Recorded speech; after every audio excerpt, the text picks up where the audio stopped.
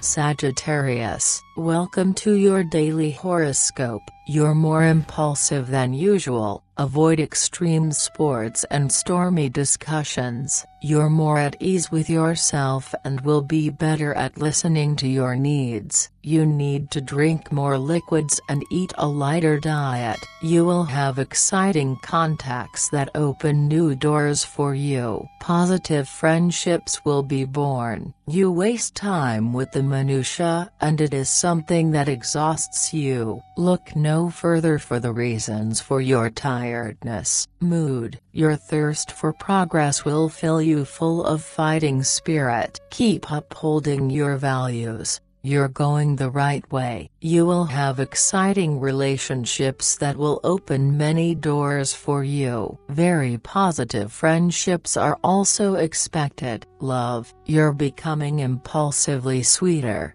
and more in line with your partner's hopes and expectations. Today is the perfect day to talk deeply and openly about yourself. You'll know how to broach things without forcing anything. It seems that there will be party and joy in the future. Do not reject the invitations. These are contexts in which you will fulfill yourself sentimentally. The meetings will be intense. Money You will find the previous day's questioning less painful. Your climb down has positive repercussions and you can move things forward to continue advancing. Some changes are necessary. Don't panic, Listen to the new proposals they make you. Work.